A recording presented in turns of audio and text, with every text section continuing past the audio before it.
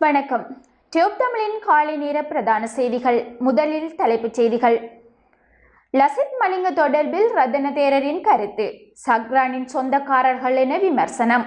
பிரதமர் ரணிலை மதிக்கிறேன். மைத்திரியுடன் ஒப்பந்தம் எதுவும் இல்லை சஜித். நல்லூரே தமிழரின் கேந்திரம். ஜாலில் ரணில் வாழ்த்து மலை ஜனாதிபதி தேர்தலின் இறுதி நேரத்தில் அதிரடி காட்டும் சந்திரிகா. தொடர்வன விரிவான செய்திகள். இலங்கையர்கள் வீழ்ந்தாலும் மீண்டும் எழுவார்கள் என்பதே கிரிக்கெட் வீரர் லசிங் மலிங்க. சாதனை அப்பட்டமாக எடுத்து காட்டுகின்றது என நாடாளுமன்ற உறுப்பினர் ரத்ன தேரர் தெரிவித்துள்ளார். கொழும்பு ஊடகம் ஒன்று இது தொடர்பில் செய்தி வெளியிட்டுள்ளது. எமது இலங்கை கிரிக்கெட் அணி தோல்வியடையும் போது எந்த கவலையும் அடையாதவர்கள் சக்ரானின் சொந்தக்காரர்கள் என்று தேரர் விமர்சனம் வெளியிட்டுள்ளார். அதேபோல இலங்கையர்கள் வீழ்ந்தாலும் மீண்டும் எழுவார்கள் என்பதே மலிங்க நேற்றைய தினம் நிகழ்த்தி காட்டிய சாதனைகளை அப்பட்டமாக எடுத்து காட்டுகின்றது எனவும் அவர் குறிப்பிட்டுள்ளார். ஐக்கிய தேசிய கட்சியும் அதன் தலைமையும் தான் மதிப்பதாக அமைச்சர் சஜித் பிரேமதாச தெரிவித்துள்ளார். அத்துடன் கடந்த ஆண்டு இறுதியில் ஏற்பட்டிருந்த அரசியல் நெருக்கடியின் போது ஜனாதிபதி மைத்திரிபால சிறிசேனவுடன் சந்திப்புகள் குறித்து பல விடயங்களை அவர் வெளியிட்டுள்ளார். அமைச்சர் சஜித் சஜித் பிரேமதாசவை ஜனாதிபதி வேட்பாளராக அறிவிக்குமாறு கோரி அழுத்தம் கொடுக்கும் கூட்டம் கொழும்பு சுகதாச உள்ளக அரங்கில் இடம்பெற்றிருந்தது. இதில் ஐக்கிய தேசிய கட்சியின் நாடாளுமன்ற உறுப்பினர்கள் கீழ்மட்ட உறுப்பினர்கள் உள்ளூராட்சி சபை உறுப்பினர்கள் என பலரும் கலந்து கொண்டிருந்தனர். எமது நாட்டின் கலாச்சார வரலாற்றில் யாழ்ப்பாணம் மிகவும் முக்கியம் வாய்ந்த பிரதேசம்.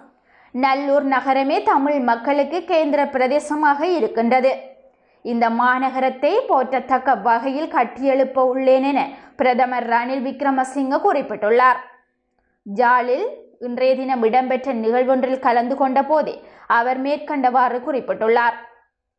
தொடர்ந்தும் அவர் தெரிவிக்கையில் குறிப்பாக வடக்கிற்கு அதிக முக்கியத்துவம் வழங்கி அபிவிருத்தி பணிகளை முன்னெடுத்து வருகின்ற அதே நேரத்தில் தமிழ் மக்களின் பிரச்சினைகளுக்கான அரசியல் தீர்வை காண்பதற்கான முயற்சிகளையும் தொடர்ந்து மேற்கொண்டு வருகின்றோம். அதேபோல் சந்தை தொகுதி கட்டுமான நடவடிக்கைகளையும் நாங்கள் மேற்கொண்டு வருகின்றோம். நெடுந்தூர பயணிகளுக்கான கட்டட பணிகள் பூர்த்தி செய்யும் தருவாயில் உள்ளது. அதனையும் நாங்கள் பூர்த்தி செய்வோம். குறிப்பாக இங்கு நகரப்பிதா கூறியிருப்பது போல கட்டட வடிவமைப்பின்படி கட்டடத்தை அமைப்போம் என்பதையும் உறுதியாக சொல்ல விரும்புகின்றேன். அதனூடாக தான் புதிய ஜாழ்ப்பாணத்தை எங்களால் கட்டியெழுப்ப முடியும் என குறிப்பிட்டுள்ளார். இரண்டாயிரத்தி பதினைந்தாம் ஆண்டு ஜனாதிபதி தேர்தலில் இறுதி நேரத்தில் பொது வேட்பாளராக அறிவிக்கப்பட்டதை போன்று இந்த வருடம் ஜனாதிபதி தேர்தலில் இறுதி நேரத்தில் ஸ்ரீலங்கா சுதந்திர கட்சி அதிரடி காட்டும் என முன்னாள் ஜனாதிபதி சந்திரிகா பண்டார்நாயக குமாரதுங்க தெரிவித்துள்ளார்.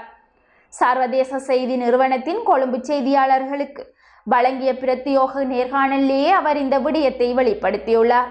அவர் மேலும் தெரிவித்ததாவது ஸ்ரீலங்கா சுதந்திர கட்சியின் மாநாட்டில் நான் பங்கேற்றிருந்தேன். அந்த கட்சி எனது தாய் வீடு. அந்த கட்சியில் உள்ள கலைகளை அகற்ற வேண்டும். அந்த கட்சிக்கு விசுவாசமானவர்களுடன் தொடர்ந்தும் இருப்பேன்.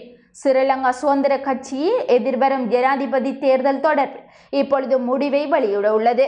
இரண்டாயிரத்தி பதினைந்தாம் ஆண்டு ஜனாதிபதி தேர்தலில் இறுதி நேரத்தில் இடம்பெற்றதை போன்று அதிரடியான முடிவை எடுக்கும் என குறிப்பிட்டுள்ளார்.